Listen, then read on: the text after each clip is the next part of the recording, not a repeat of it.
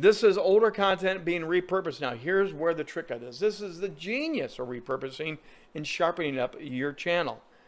I have placed a new cover for my coaching that I do online. And again, some of these are several years old, but the new pop, the new branding of it makes this really shine. And again, every one of my channels, every one of my sub layers is a different. This one, Defy the Odds, is going to have a whole new brand color put on that. I wanted to show you the difference between that and this. You can see, they're all different. They have a different vibe to them, and I want to really brand those together. Here are my great storyteller. I have a whole campaign on storytelling. Here's all on leadership coaching that I do.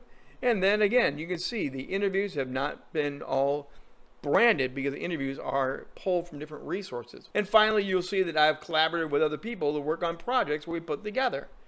That's just a really quick overview of what you can do with old content on your YouTube channel.